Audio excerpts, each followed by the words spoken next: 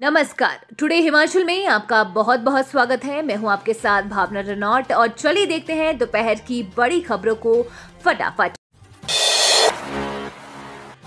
सुखू सरकार की बड़ी सौगात, इन विभागों के 2000 कर्मियों को मिला प्रमोशन।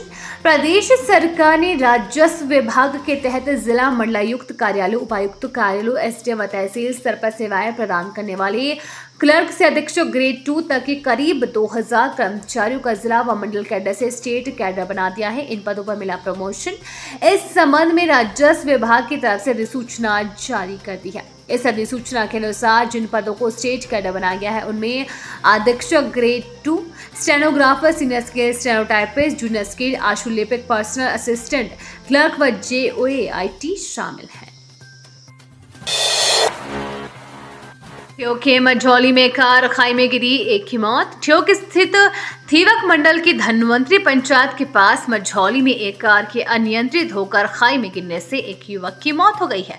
जबकि एक व्यक्ति गंभीर रूप से घायल हो गया है, पुलिस से मिली जानकारी के अनुसार संदीप कुमार पुत्र स्वर्गीय भगवान दास निवासी गाँव मचरोई डाकघर चियोक तहसील ठियोग ने बयान दिया कि 2 अक्टूबर को सुबह करीब आठ बजे उन्हें ग्रामीणों से पता चला कि राजीव हेटा उर्फ़ बिट्टू पुत्र रामकृष्ण हेटा निवासी गाँव मछरोई डाकघर च्योक तहसील ठियोग का धमांदरी के पास दुर्घटनाग्रस्त हो गई है और उनका छोटा बेटा भाई प्रदीप भी राजीव के साथ कार में छिंज मिलना देखने गया था।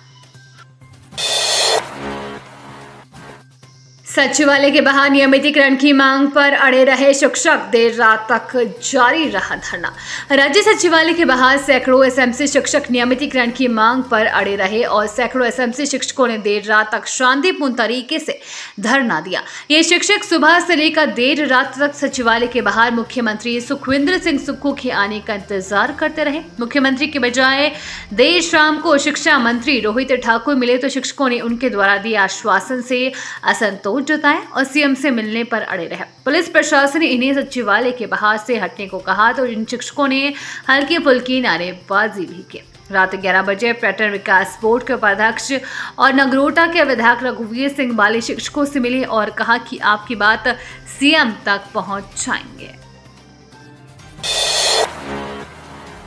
हिमाचल धर्मशाला में क्रिकेट वर्ल्ड कप मैचों से पहले लिखा खालिस्तान जिंदाबाद, पुलिस ने मिटाकर शुरू की जाँच।